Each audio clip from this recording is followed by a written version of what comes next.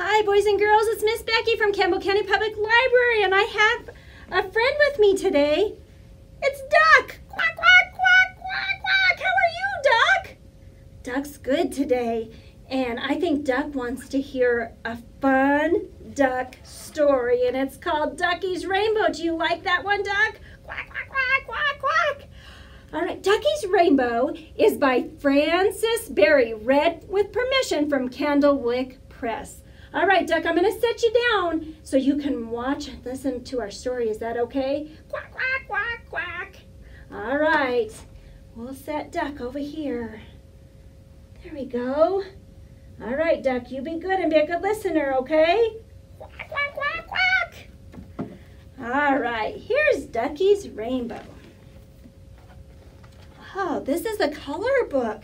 So you guys are going to help me guess the colors as we turn the pages. This is red, mostly red. Duckie walked home through the red poppy field. She was in a hurry. She hopped under the orange bridge. Do you guys see the orange? And waddled around the yellow cornfield. Look at all of that yellow. She hurried past the big green tree. Look at all the green. And paddled across the cool blue pond. Duckie arrived home and looked up at the indigo sky. The violet clouds floated by and the rain came down. Look at all the indigo those indigo clouds and the beautiful violet colors. When the sun came out, she saw a beautiful rainbow. And that is the end of Duckie's Rainbow. And boys and girls, when you're outside in the spring, Lots of times we have rain, and after a nice rain shower, you can see a beautiful rainbow.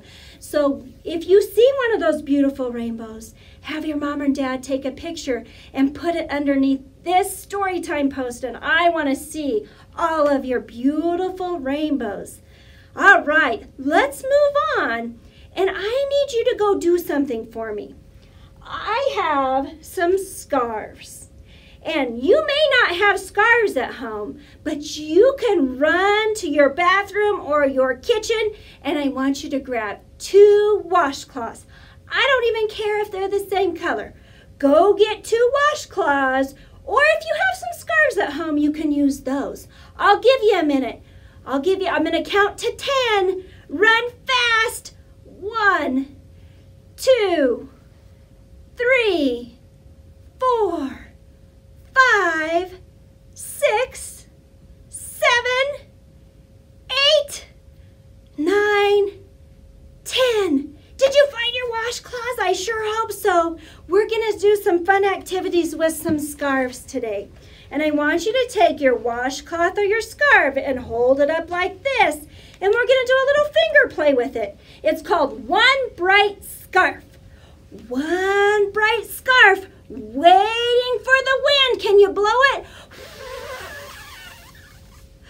Wiggle it high, wiggle it low. Shake it fast and shake Hide it behind your back.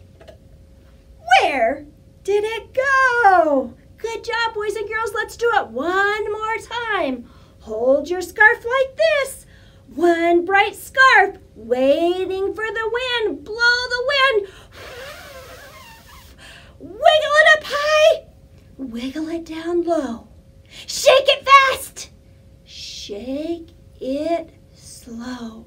Hide it behind your back. Where did it go? Good job! You can trick your moms and dads or your grandmas and grandpas with that fun little finger play.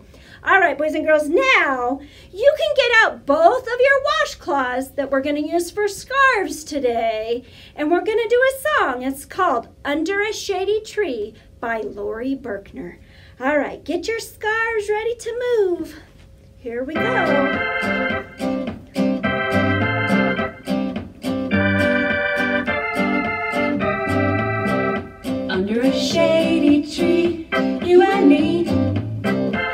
Under a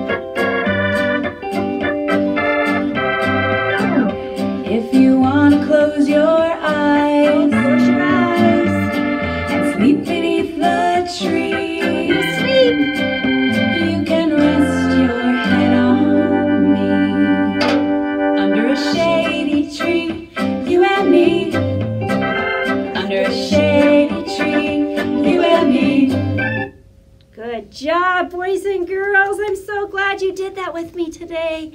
We sure miss you here at the Campbell County Public Library, but we're going to be back in business soon and you guys can come in. I hope within a little bit here we can have you back. Please remember you can still get grab bags. You can still get some of our um, literacy kits. You can um, check out movies. You can check out any book that you would like.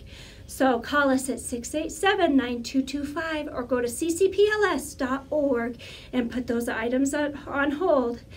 See you later. Thanks for joining me today.